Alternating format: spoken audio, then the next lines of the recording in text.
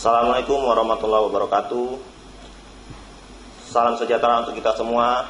Mudah-mudahan ananda semua sehat dalam keadaan sehat walafiat dan dilindungi Allah Subhanahu wa taala. Kali ini Bapak mohon maaf biasanya kita bertemu secara tatap muka. Untuk kali ini kita bertemu secara video video tutorial yang akan Bapak sajikan. Baiklah, materi yang akan Bapak sampaikan yaitu mengenai materi Kingdom Animalia. Kingdom Animalia ini yang biasa kita kenal dengan dunia hewan. Kemudian untuk khusus kali ini Bapak bagikan tentang dunia hewan invertebrata atau hewan yang tidak bertulang belakang.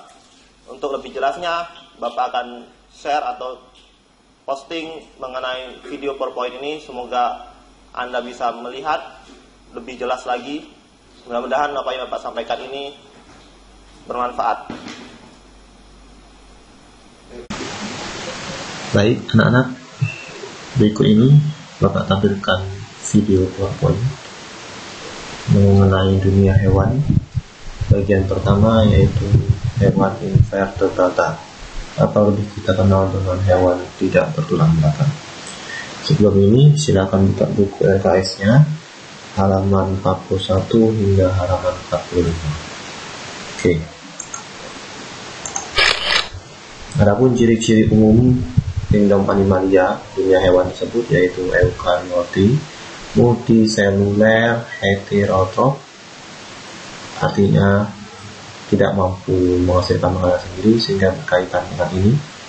Tidak ada dinding sel dan klorofil mampu berpindah tempat atau motil habitatnya di darat ataupun di air, baik laut, payau maupun tawar. Berikut Kingdom Animalia dibagi menjadi beberapa film, Orifera, Sulam Terata, Latihan Mintes, Nemotan Mintes, dan Annelida ini tiga ini termasuk film cacing atau vermes. Kemudian Molluska, Arthropoda, Echinodebata, dan Chordata. Untuk kali ini, Bapak akan membahas mengenai Orifera, hingga echinodermata karena mereka termasuk kelompok hewan invertebrata. Berikut yang pertama, klasifikasi film yang pertama itu Porifera dibagi menjadi tiga kelas berdasarkan kerangka tubuh atau spikula. Kelas Calcacera, tubuhnya menghasilkan atau berasal dari kalsium karbonat. Kelas Hexatinidida, tubuhnya mengandung silika atau persik dan kelas demospermia tubuhnya terbuat dari spong saja. Contoh-contohnya yaitu Euplectella, Nymphates digitalis, Spons, Latrina, dan Leucetusa lancifer. Berikut film yang kedua, klasifikasi sulenterata dibagi menjadi tiga kelas. Hydrozoa, contohnya terkenal adalah Hydra, Scriptozoa, Aurelia, ubur-ubur, dan Antodua anemonaut.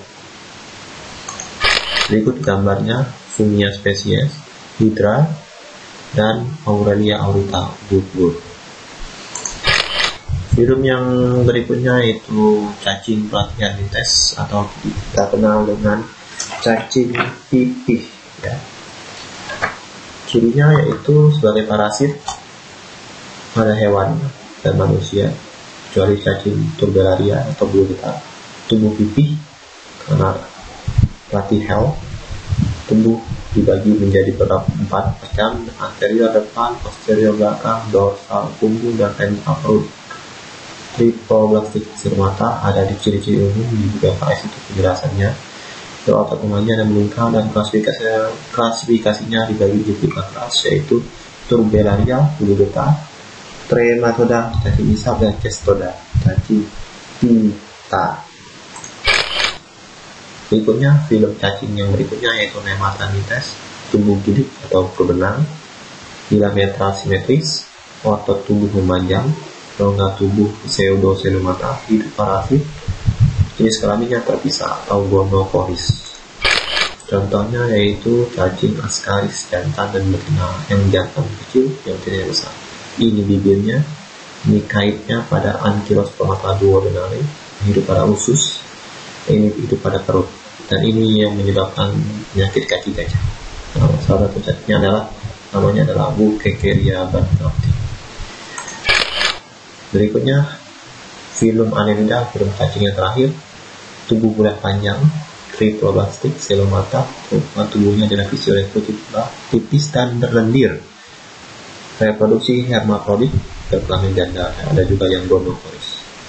Dibagi menjadi tiga kelas, oligokaita, cacing tanah, oligokaita, cacing wangu dan palolo, dan hirudinea. Kelas terakhir yaitu rombongan lintah dan pacen.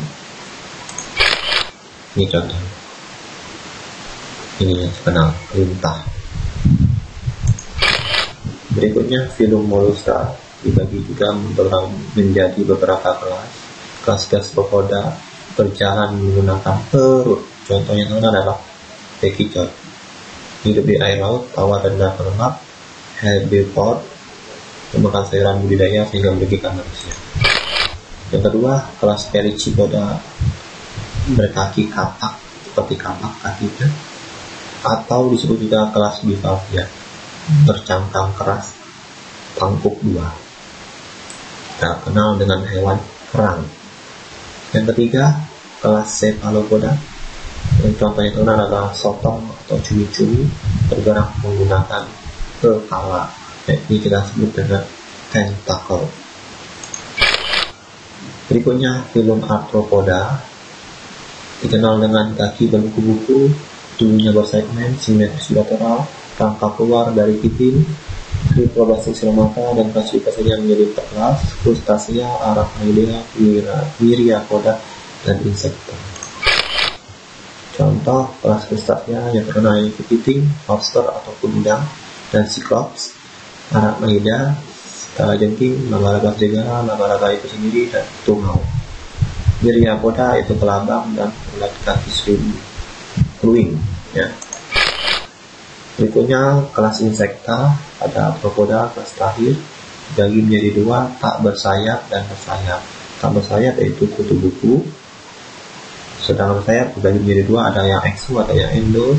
Yang exo yaitu ordo, Isoptera raya, Orthoptera belalang, coba, Hinoptera kutu busuk kolam langit dan Homoptera kutub palang lereng. Sedangkan endo yaitu Coleoptera Diptera lalat nyamuk, Lepidoptera kupu-kupu, Hymenoptera semut, lebah, Siphonoptera kutu anjing, kutu tikus, dan Neuroptera undur-undur.